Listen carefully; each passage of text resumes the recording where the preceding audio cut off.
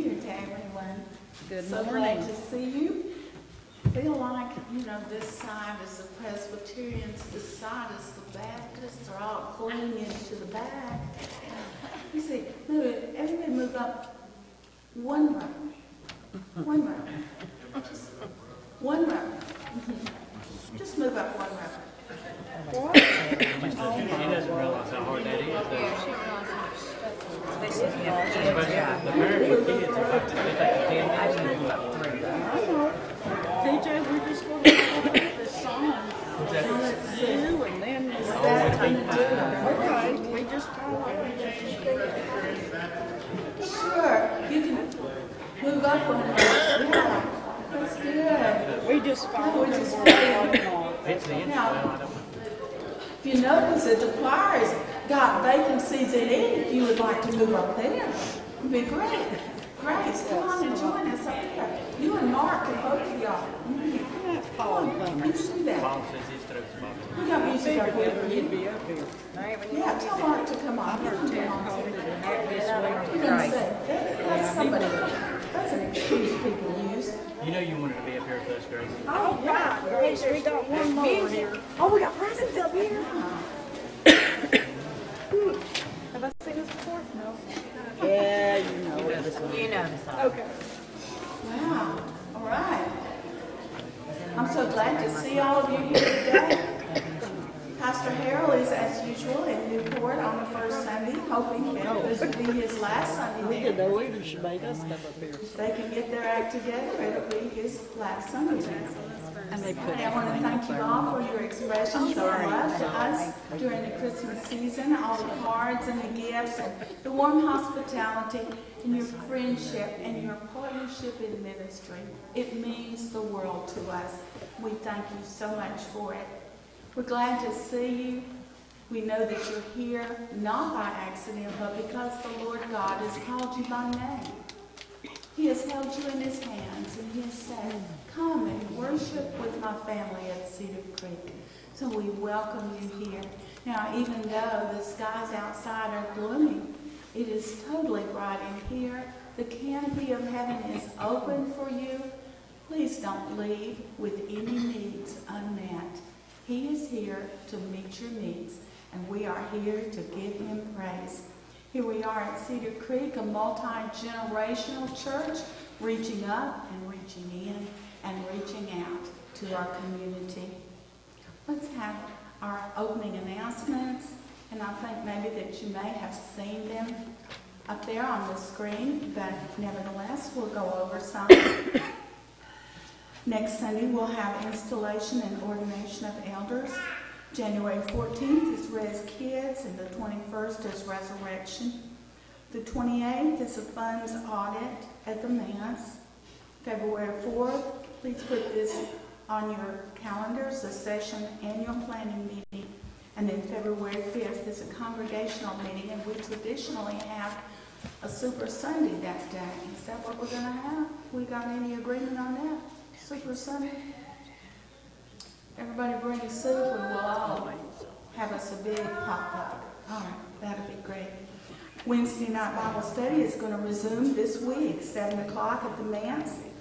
And then next week is the installation of elders, as we said before. And the Charis class resumes this Thursday at 6 p.m. at the center. And next Sunday, the Spirit-filled Fellowship will resume. And I think, uh, Becky, have you got the meal that night? Yes. Becky and Beth will be the cooks that night. So we look forward to seeing you, and also next Sunday, we want to be taking down the Christmas tree at 3 p.m.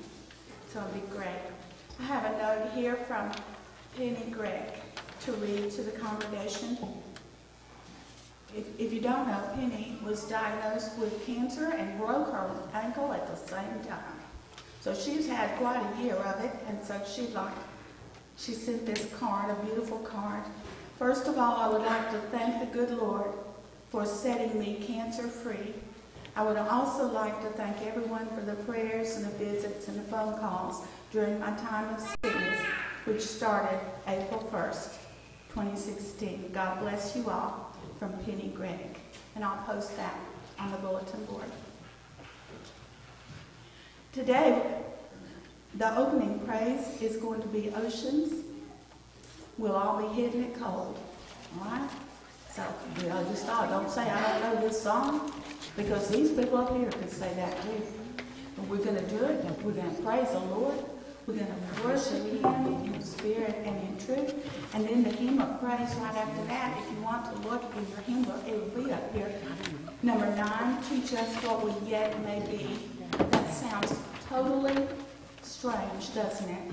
But it is the Beethoven Ode to Joy, so you'll be able to sing it right off. It'll be quick. So let's have a prayer and we will worship the Lord God.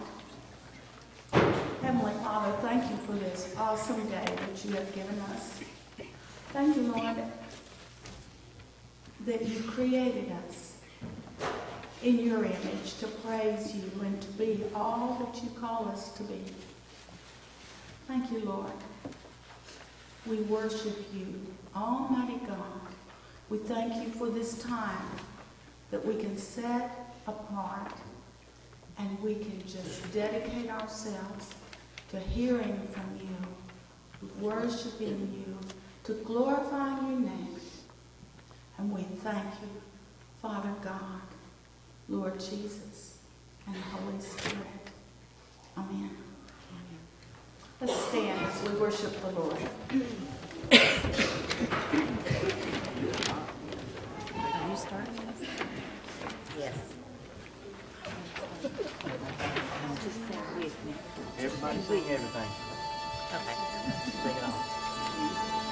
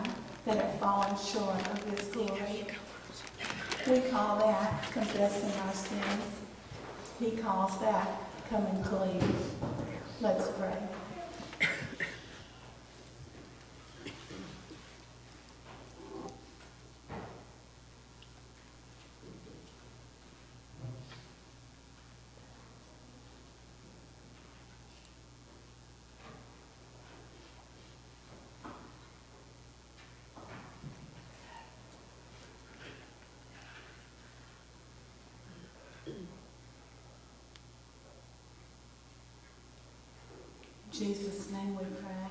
Amen. Friends, believe the good news of the gospel.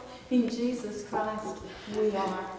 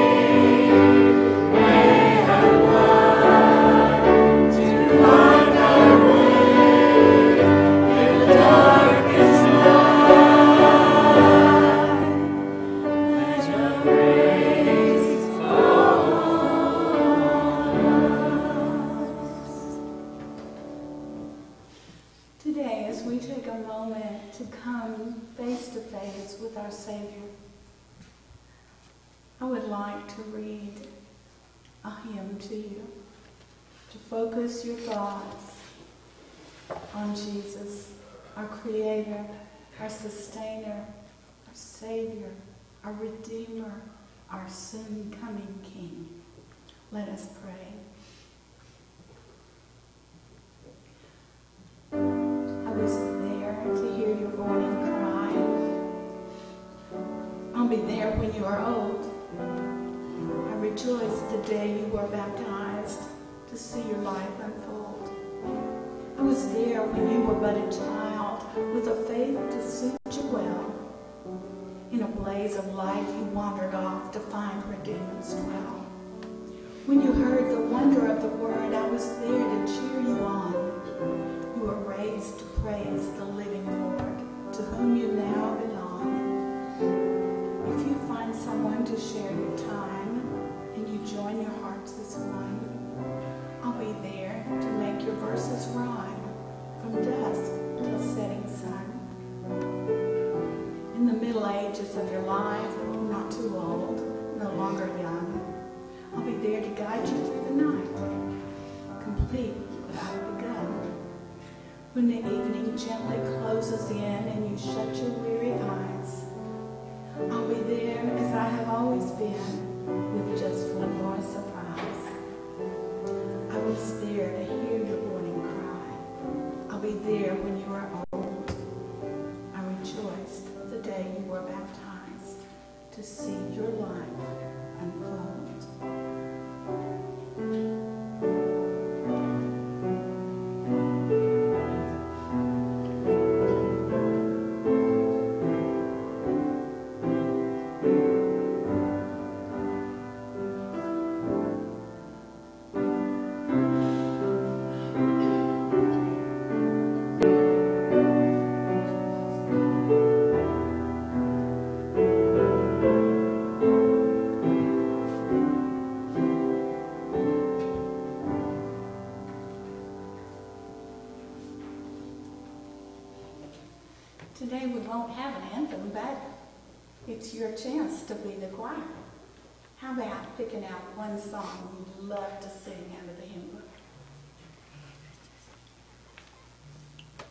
Nightmare. All right. First one with a number. You win.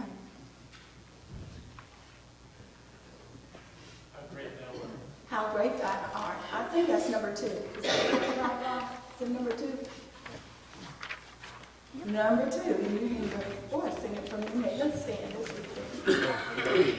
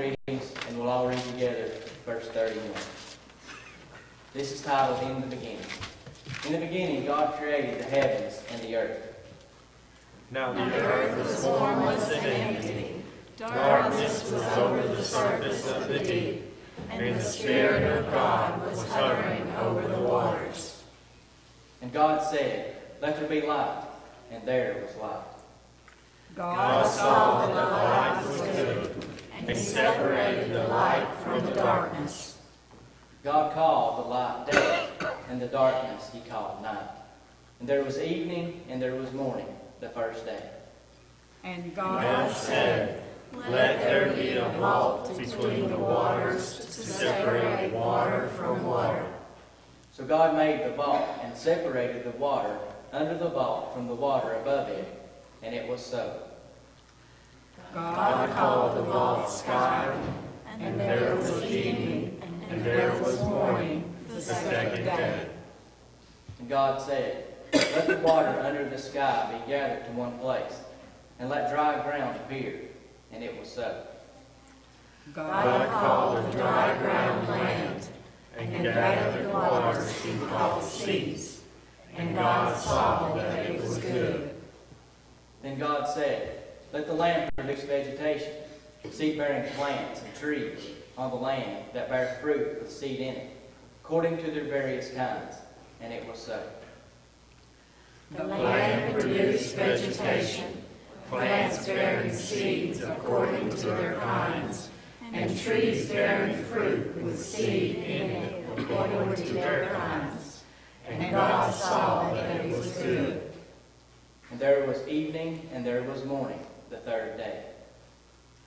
And God said, Let there be lights in the vault of the sky to separate the day from the night, and let them serve as signs to mark sacred times and days and years.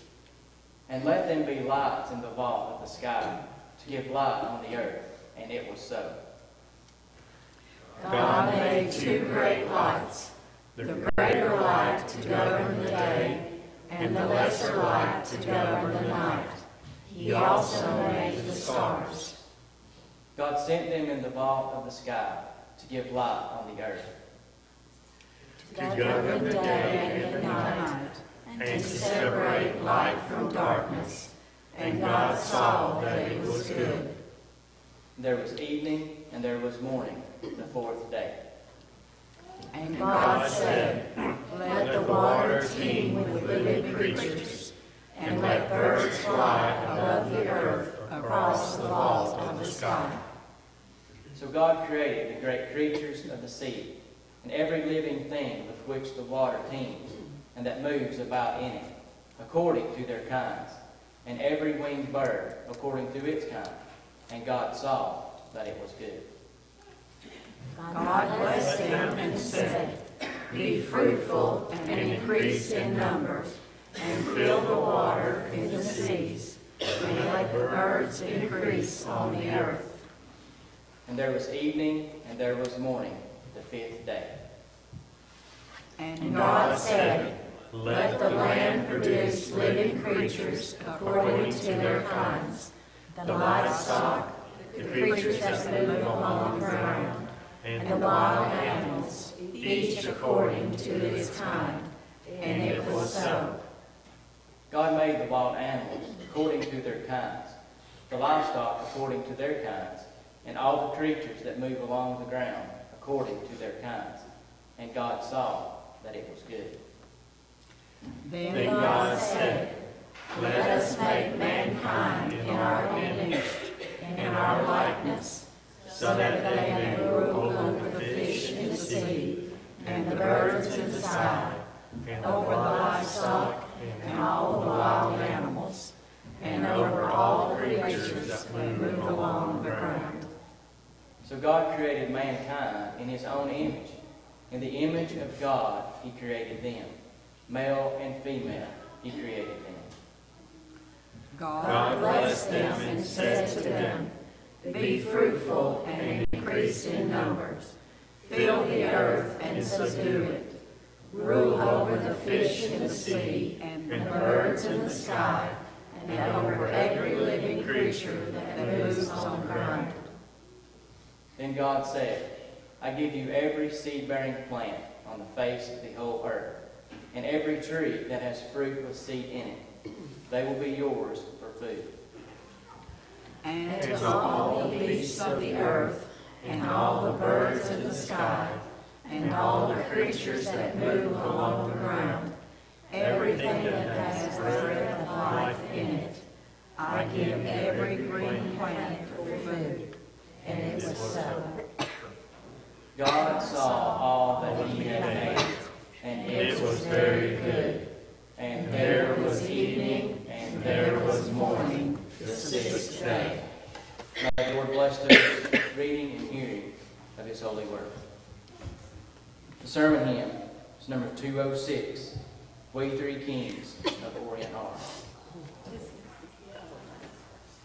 The kids will be dismissed to go to children's church on the last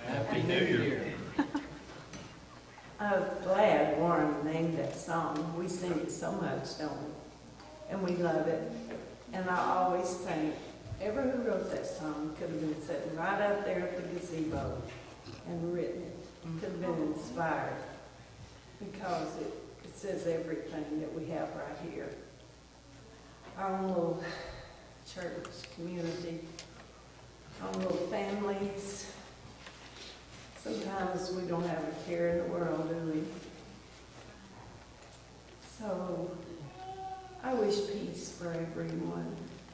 I know we can't do anything in Washington, India, or Africa, but we can have peace with our neighbors. We can have peace with our family, our brothers and our sisters. I have two brothers here today, and I thank God that I have peace with them. So I wish you peace for the new year. Spread to everybody you see. Our scripture today is found on page uh, 1645. It's from 1 John. Be reading verses 1 through 18. In the beginning was the Word, and the Word was with God, and the Word was God. He was with God in the beginning.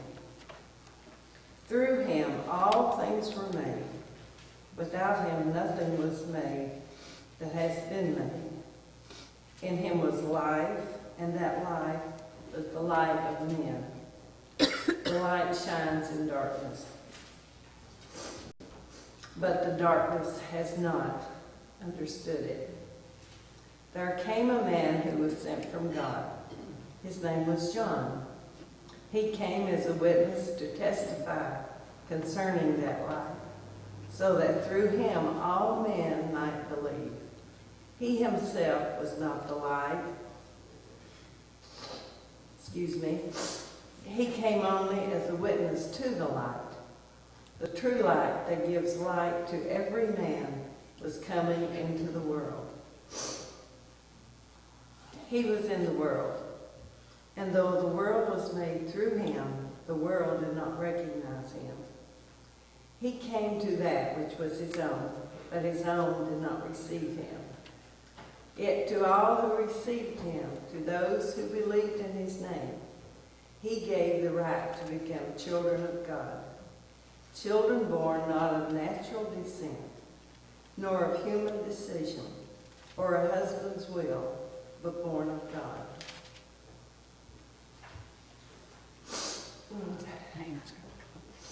The Word became flesh and made his dwelling among us. We have seen his glory, the glory of the one and only, who came from the Father, full of grace and truth.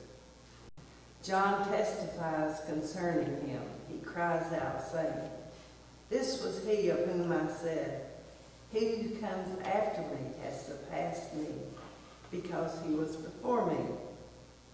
From the fullness of his grace, we have all received one blessing after another. For the law was given through Moses, grace and truth came through Jesus Christ. No one has ever seen God, but God, the one and only, who is at the Father's side, has made him known. This is the word of God the people of God. Did you think you were on a movie or something? Did I watch it? Did you think you might be in a movie or something? Did I act like it? Kind of reminded me, doesn't it?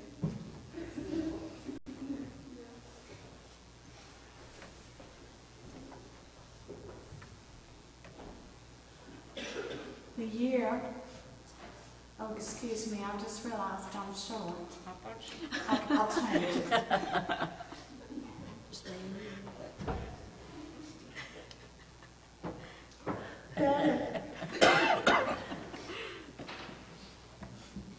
The year was 1963.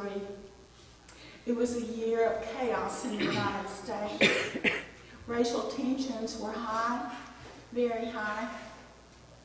The 16th Street Baptist Church in Birmingham, Alabama had just been bombed by the Ku Klux Klan. And when that happened, four teenage girls attending Sunday school were killed. It was my freshman year at Stetson University, and that in itself was chaos enough. My boyfriend had gone off to Peabody Conservatory, or as they say, Peabody Conservatory, in Baltimore, and I really felt all alone. Grace, perhaps you can relate. No mama, no daddy, no sissy, no bubba. no beach, and oh wow, no boyfriend. All the adjustments of living in a dorm with little or no privacy, having to be responsible enough to get myself up in the morning and go to class on my own. And then facing the challenge of real college work. Hmm That's when you find out, oh boy, I'm, I guess I'm going to have to study. And then I found out, I discovered that I had really bit off more than I could chew when I decided to major in music. Well, regardless of what was going on in the world, my life was just turned upside down. It took a little while, but finally things settled down to the new normal. September, October, November. All of us were getting excited about going home for Thanksgiving. And don't you know, my history teacher decided to give us a test that last day, that Friday. Well, when we finished our test, we were free to leave and go home. And since that was my last class, I was excited to get to leave school for the first time. And my cousin was coming to pick me up in just an hour, and in two hours I could be at the beach. I walked out of class as happy as a lark when I realized no one in the halls was smiling. No one was cutting up or anything. It was just silent. It was like everyone was in shock. And then my flute teacher came up to me with tears streaming down her face, and she said, she really talked like this. Oh, Mossy, the president has been shot. President Kennedy is dead. Wow. Yes, it was 1963, and the nation was really in chaos. And yet, even in that tumultuous year, there's one memory I have that stands, stands out as the most important, as being seminal in my life. And it remains a defining moment, even to this day, and I am awestruck by it. Let's stand and pray.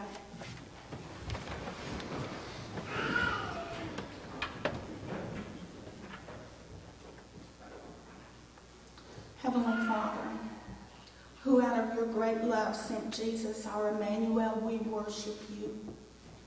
Lord Jesus, Word of the Father, now in flesh appearing, we worship you. Holy Spirit, Guide of the ages, we worship you. Lord God, three in one, guide our thoughts through this hour, we pray. And may we learn of you. May we grasp your infinite love.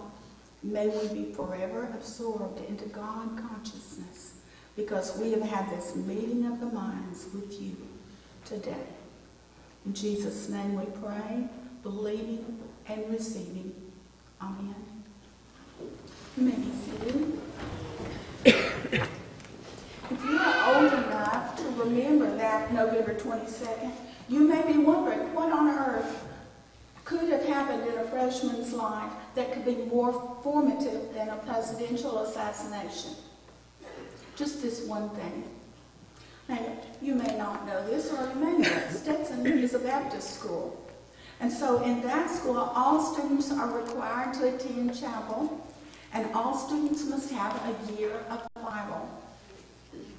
Well, I came from a Baptist family, and where Bible reading every day was stressed, and being able to take Bible courses twice a year, that was stress. And I just thought, I'm going to ace this course.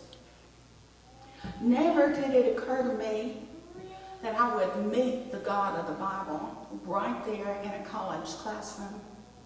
But meeting him I did. In the very first class. That little professor walked back and forth, back and forth. And finally, he stopped and he said these words. In the beginning was the Logos. And the Logos was with God, and the Logos was God. The same was in the beginning with God. All things were made by him, and without him was nothing made that was made.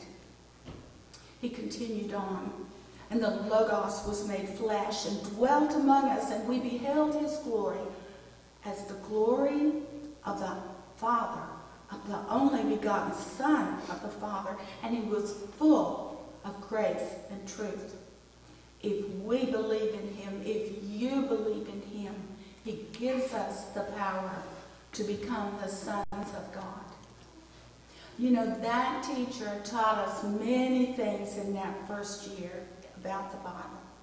But the most important thing he taught us was to be centered on the first chapter of John, on the Logos, because in his word, that revelation makes the whole Bible make sense. So if you don't mind, let's take our Bible and open it to John chapter 1, and we'll do a little bit of exposition here, not too much. It might get a little teaching, but inspiration will come later, so hang in. All right, so when you've got it, John chapter 1, say, I've got it. Got it. We're waiting for the back of the church to say, got it. You got it, Stephanie. You don't even have that Bible cracked open. You're going to have to take my word for it, aren't you? Yeah. All right. Well, you may be asking yourself, there she goes, breaking down, you're getting that Bible out. Right. You may be asking yourself, well, what is this Logos, and what's the difference between saying Logos and saying the Word? Well, Logos means the expression of thought, not just the name of the object. Logos is the Word of God forever unchanging because it reveals who He is. In calling John, in calling Jesus the Logos, John was saying that Jesus totally and completely expressed the thoughts of the Father and was manifested in a physical body so that the world could read them. Now that's a little wordy, pardon the expression, but John is saying that by knowing Jesus in the flesh, the people could understand the thoughts and the essence of God the Father. Hebrews 1 3 puts it this way Jesus is the express image of God, He is the brightness of God's glory. Now, if you want to get more understanding on that phrase, you'll just have to join us at the Charis study. From verse 3 of John 1, let's look at verse 3. We can see that God created all things through Jesus. Hebrews 1 2 says that through the Son, God created the universe. Colossians 1.16 tells us that Jesus, through Jesus, God created everything in the heavenly realms. Everything that we can see was created by Jesus. Everything that we cannot see was created by Jesus. The Logos, the Word. In verse 4, we see that Jesus is the origin of all life. You see it? In him was life. Yes. In him we live and move and have our being. Acts 17. Colossians 1, verse 17. Jesus existed before anything, and he holds everything together. John 5, verse 26. Jesus says of himself, the Son has life in himself. In 1 John, we see God has given us eternal life, and that life is in his Son. Whoever has the Son has life. Whoever does not have the Son does not have life. Going on to verse 5 of John, John, verse 1, I mean, chapter 1, we see that Jesus is the light source, the light of the world.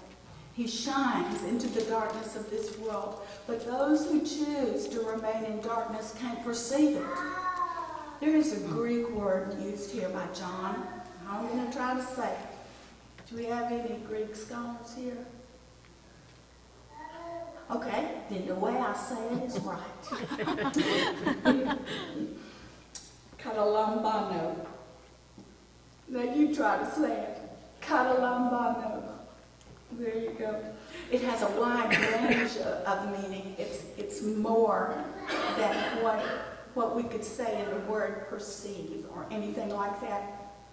It explains that people choosing the darkness just don't get it that they are in darkness. They can't comprehend the light. They cannot apprehend it. They cannot overcome it. It will shine on forever, regardless of the circumstances. Regardless. Now let's look just a little bit further to verse number 12. Verse 12 of John 1. Yet to those who received him, to those who believed in his name, he gave the right to become the children of God. Now, to understand what John is saying here, we need to connect some dots. John 10 10, there you have it, the acid test of whether something is from God or something is from the devil. The thief comes only to steal and to kill and to destroy. But I have come that they may have life more abundantly. They may have abundant life to the full till it overflows. The word life here is Zoe, the very life force of God. To those who believe in Jesus, he gives the Zoe life of God, the essence of God. Believers receive supernatural power, not only eternal life in heaven, but victory here in life too. So those who are truly born of God, those who have the Son, you say, that's me. That's That's me. me. Did you hear they didn't even say it? I'm going to give them another chance. All right. Those who are truly born of God, those who have the Son, you say, that's me. That's me. That's much better. They have the power of God to enable them to win in life. They may not be aware of that power, they may not use that power, but they have it.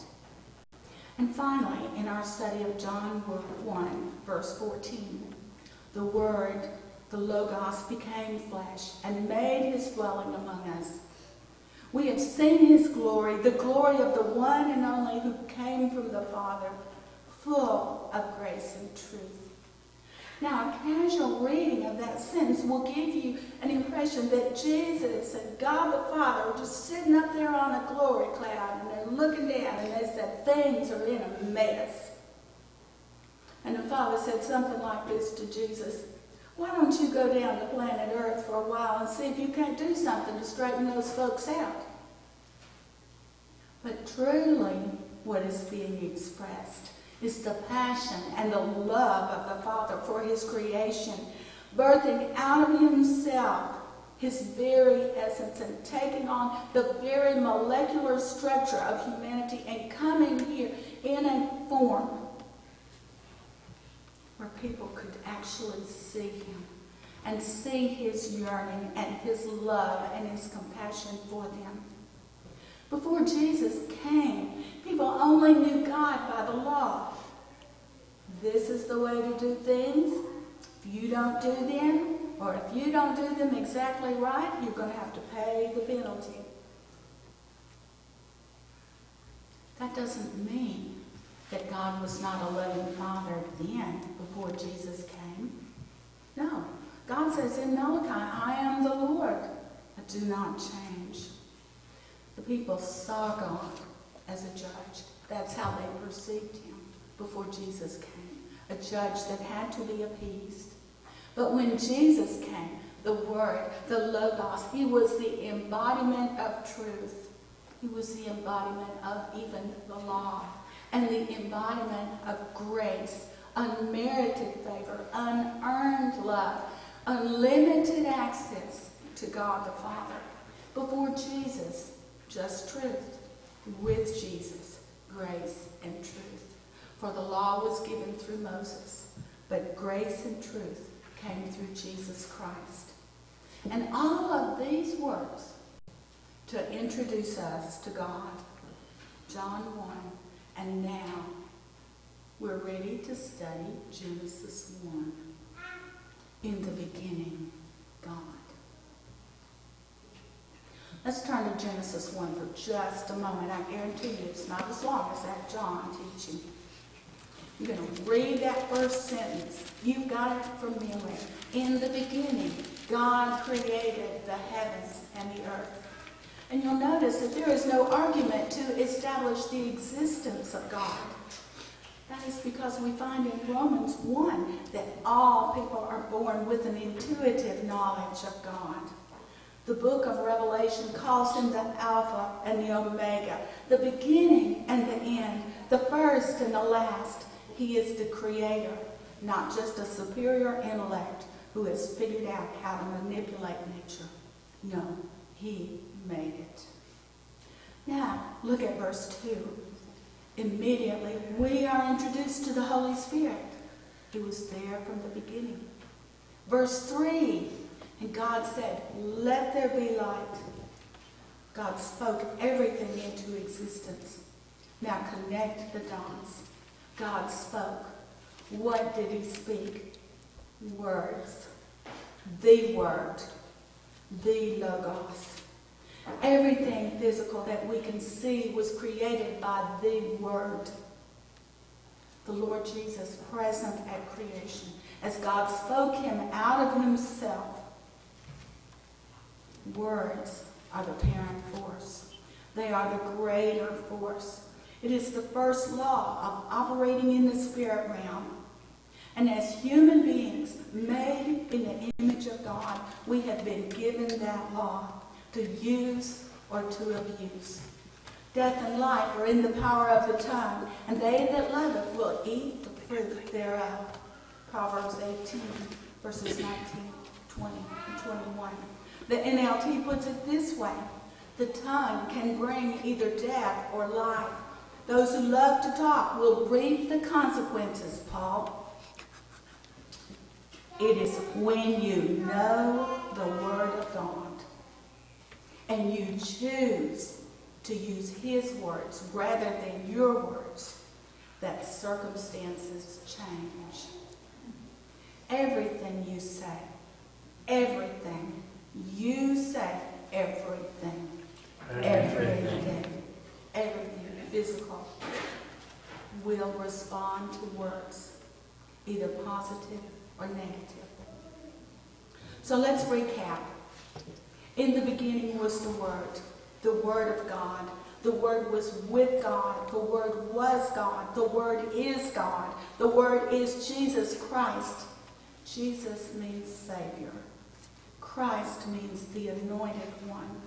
Jesus Christ, the anointed Word of God that brings salvation, brings deliverance, healing, freedom from oppression, intimacy with the Father, bringing eternal life. When we speak His words, we bring God on the scene. In the beginning, God. Through our lives, God. Today we sang that praise song, Oceans. You call me out upon the waters, the great unknown where feet may fail. And there I find you in the mystery. In oceans deep, my faith will stand. Here we stand at the beginning of a new year. It's as if our Father God, who lives in eternity, is calling us out upon the waters of an unknown segment of time. A place where our feet may fail. But when we find Him in the mystery, our faith will stand. Imagine, if you will, you can close your eyes to do this if you promise not to go to sleep.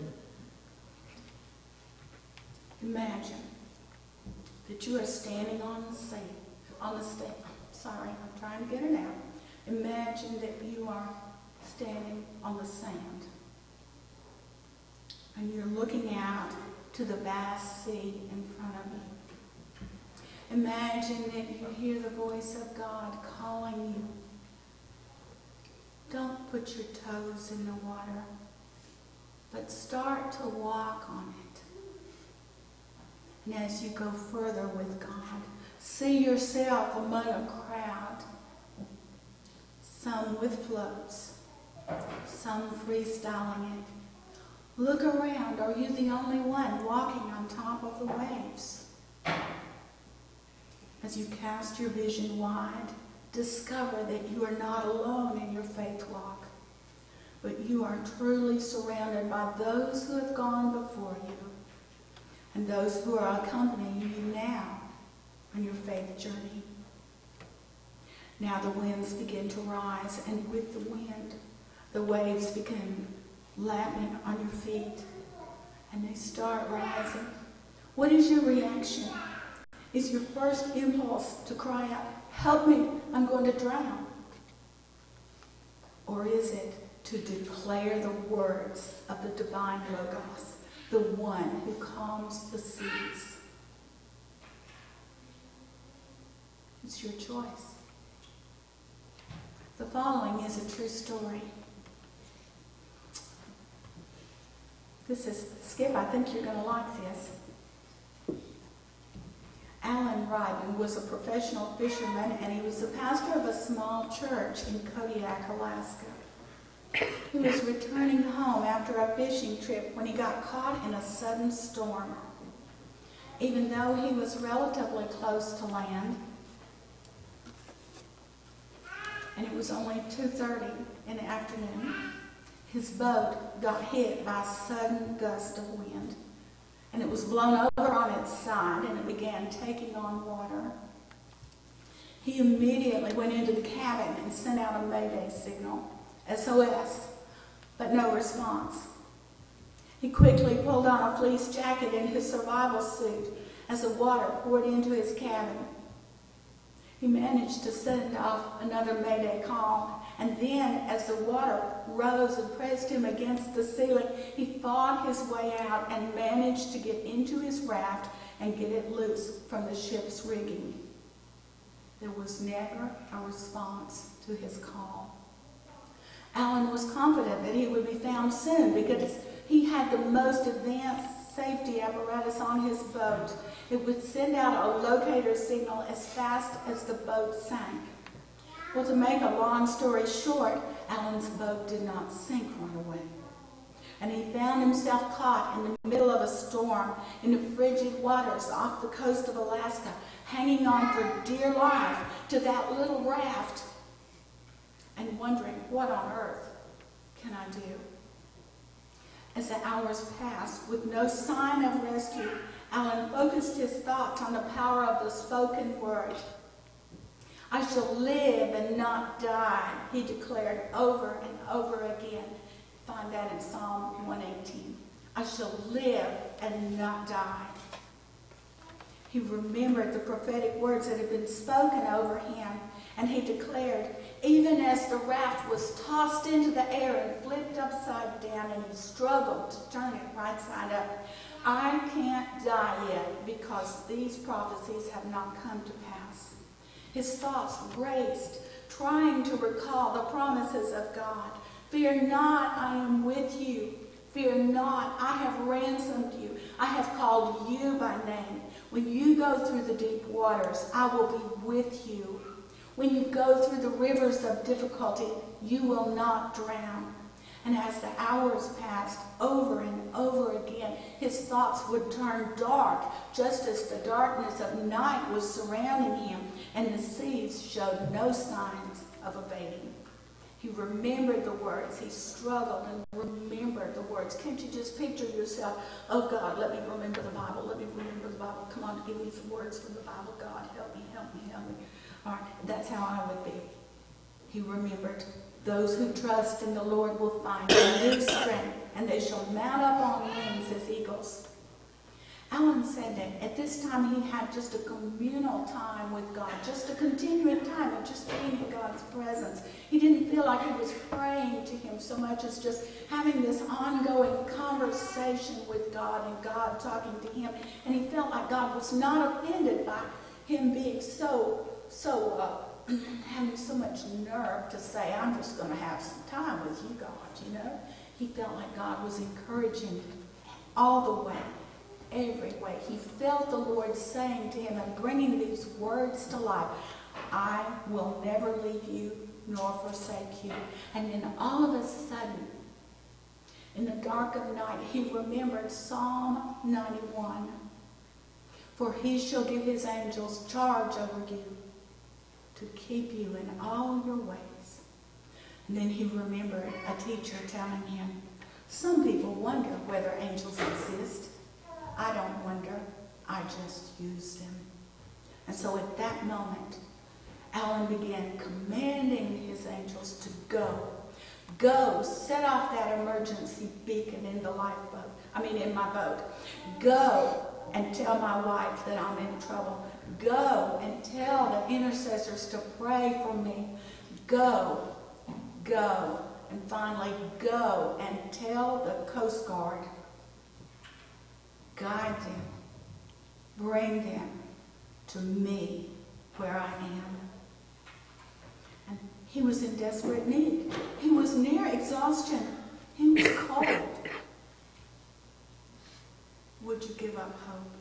He was in 30 foot seas. And later, he saw the Coast Guard timeline. 851, emergency signal received. 852, contacted his wife. 853, a Coast Guard C-130 was launched to find him. After they pulled him out of the water after midnight, finally, he had been in that Alaskan water for more than 10 hours. And amazingly, he had no lingering after effects. A Coast Guard survival expert told him that he was the survival story of the year. And he said, it's a great time to be a Christian, isn't it? And the message Alan has for us as Christians is that we need to get a handle on who we are in Christ and what privileges that we can walk in if we choose to apply the truth of God's Word, if we apply the Logos, the essence of God. He says, the battle in the spirit realm is definitely heating up now, and it is imperative that we walk in the authority Jesus paid for and then gave to us. I'm quoting him. We are in a state of being actively deceived if we stay focused on our weaknesses and walk in anything less than what we are. We will walk and have what we say and think. It is a big battle for our minds and our tongues now because the enemy is well aware what we can do if we actually believe the word. His last words to us are to guard our time in the word, to be sure that we are focused on getting full of the word of God because he says, and you know this is true, when that time of crisis hits us, we most likely won't have time to go grabbing our Bible. As we enter into this new year, the days to come for us may be as challenging as being in the ocean, struggling for survival. Whether it has to do with our health and our finances, or our well-being, or our family, whatever it is, we can remember the words to oceans. Your grace abounds in deepest waters. Your sovereign hand will be my God. Where feet may fail and fear surrounds me, you've never failed, and you won't fail now. We can know that the same in the beginning God is the same God today. The same loving God who paid for us to be supernaturally equipped sons and daughters. And that God is still with us wherever we go. And we can call upon his name and keep our eyes above the waves. When oceans rise, our souls can rest in his embrace, for we are his forever. And he is yours. And he is mine. Let us pray. Heavenly Father, thank you for giving us your word. Thank you, Lord, that when we take your word and we speak it, and we act on it, that we bring you on the scene, and everything will respond.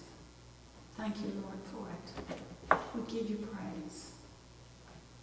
We ask for God to be put around our hearts and our minds, that we will not forget this word today. In Jesus' name. Amen.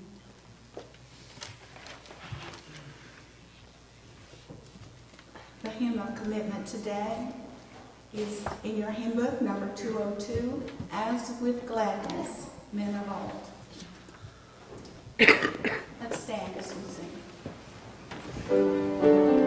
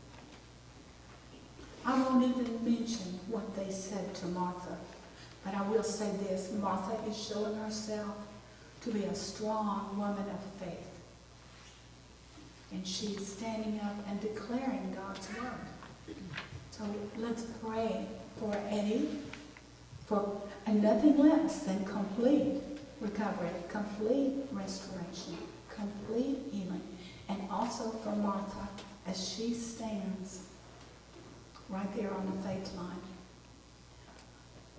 I believe Nancy's um, uncle, Harvey Connor, has been readmitted to the hospital, so we'll pray for him. Anyone else?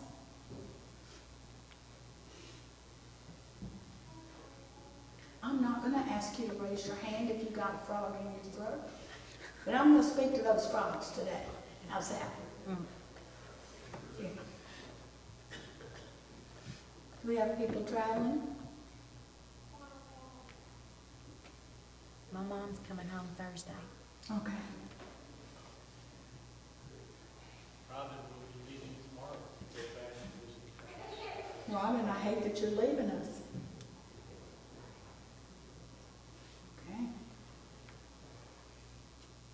Paul? Okay. All right, we'll pray for you.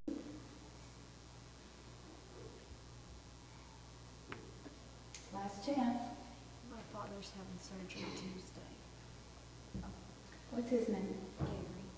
Gary. What's his last name?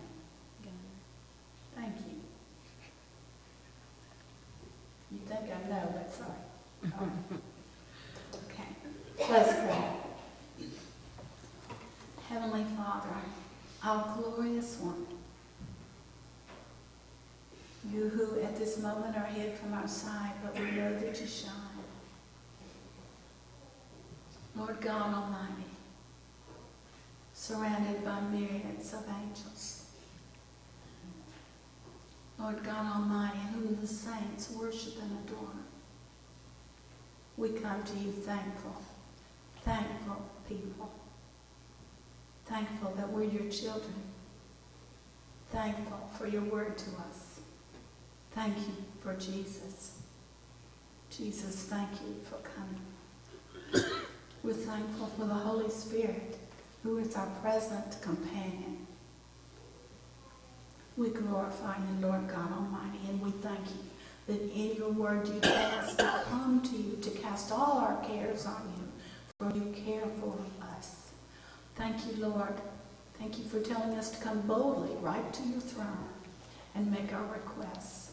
And so now, Heavenly Father, we lift up our requests to you. We pray for Gary Gunner, who will be having surgery this week, and we pray for him to have successful surgery and an uneventful recovery. I pray, Heavenly Father, for Wheezy, having tests this week, that she will have good, good results. We pray for Robin as she travels home or travels to visit friends. We pray that you will keep her safe and that she will be kept in your warm embrace. We pray for Mary Ann as she travels home from Murfreesboro. We thank you, Lord, that you watch over all of us all the time. We give you Lord. Now, Heavenly Father, we pray for Harvey Connor, for him to be returned to health. And we pray for everyone that has trouble in their throats this day, trouble in their vocal cords.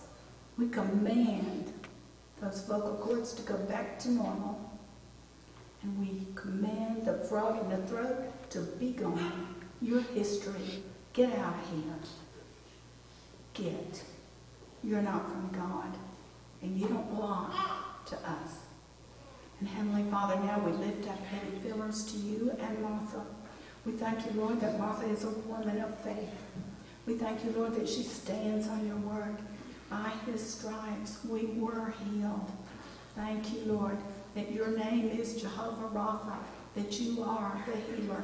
That you, it's your name. I am the Lord who is your healer. And it's what you do. You heal us. Thank you, Lord. Thank you. And we lift up Eddie to you. And we command anything that is standing in the way of Eddie's complete and total healing to move. We command you to move mountain of resistance in the name of Jesus. I command you to bow your knee to the name of the Lord Jesus Christ and to be gone from Eddie. I command the forces of hell to cease and desist their attacks on Eddie's body. Command you to be gone. We submit ourselves to God and we resist you, devil, and you must flee. So be gone in Jesus' name. Heavenly Father, I speak to Eddie's kidneys now and say, kidneys, be healed and work. I speak to Eddie's lungs and I say, lungs, be healed and work. I speak to Eddie's heart and I command you to come back to normal. I speak to every organ in his body and I command you to return to normal now in Jesus' name. I speak to every system in Eddie's body and I command you to line up with the Word of God. By his stripes we are healed. And so now, Eddie, in Jesus' name, we command you, be healed. And I thank you, Heavenly Father, for the miracle. I thank you, Lord, and I declare it, I decree it, and I give you praise for it now. In Jesus' name, we, the church, we say amen together. We join our hearts and our faith together, and we resist anything that has come against Eddie now, in Jesus' name. And Heavenly Father, we would also pray for our military, wherever they are, and whether they're near, whether they're local, whether they are in the United States, or whether they are scattered abroad. We pray for them, for your blessing and protection to be over them. And we pray, Heavenly Father, that the day will come soon when you say, mission accomplished, you may go home now. And we welcome them back. Heavenly Father, we pray for all of those who are in authority over us, the President and his cabinet, the President-elect and his cabinet. We pray for peace, as Ann said, peace in our nation, Lord. We pray for unity in our nation. We pray, Heavenly Father, for a smooth transition. And we pray for this nation to be one nation under God. And we thank you for it, that that is our calling and that is our destiny, to hold out the light of freedom to the world. We thank you for it. We praise you for it. And we thank you, Lord Jesus, that you are the one who created this nation. We thank you for coming to earth for us. We thank you that we are a covenant people and that you are here with us now. We thank you for the prayer that you taught us to pray. And we say, Our Father, who art in heaven, Hallowed be thy name. Thy kingdom come, thy will be done, on earth as it is in heaven. Give us this day our daily bread, and forgive us our debts, as we forgive our debtors. And lead us not into temptation, but deliver us from evil. For thine is the kingdom, and the power, and the glory forever. Amen. And now let us continue our worship as we joyfully bring to the Lord our tithes and offerings.